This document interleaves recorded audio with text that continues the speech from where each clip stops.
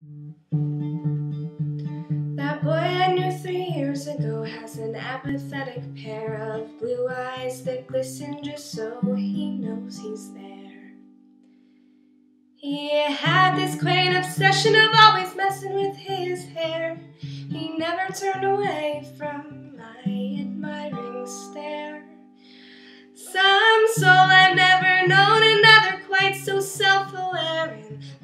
back, I have to wonder did you ever care?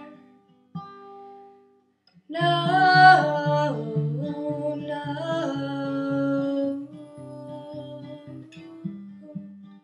But I kept all these thoughts of you in a book I wrote my heart's thoughts to, and I've come to the conclusion, dried my eyes of delusion.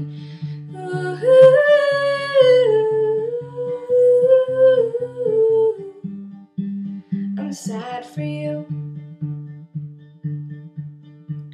You know that way I always try to reach out, even when I'm eyeing up the edge.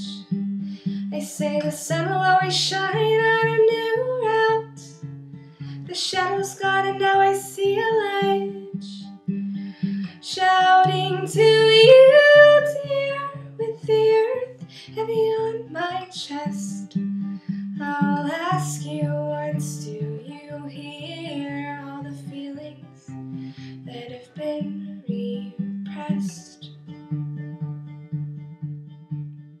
All the nights now wide awake, just walking in the dark because then we never slept in hopes to leave our mark, an impression, indication how extraordinary. What a shame it was too heavy for your little arms to carry. I ask you not be fooled if that sounds somewhat bitter. I only found I can attest that you are much fitter, like that time in late October. How you held me through the night. We were sparks amongst the coal and watched ourselves ignite.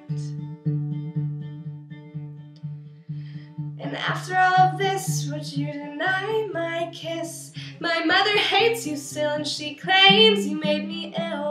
I'd never read to you the letters that I never sent through. We were young and so naive, but I asked you not to leave. You made me blue. All these thoughts of you, I'll just share with hope one day you'll see too. Ooh,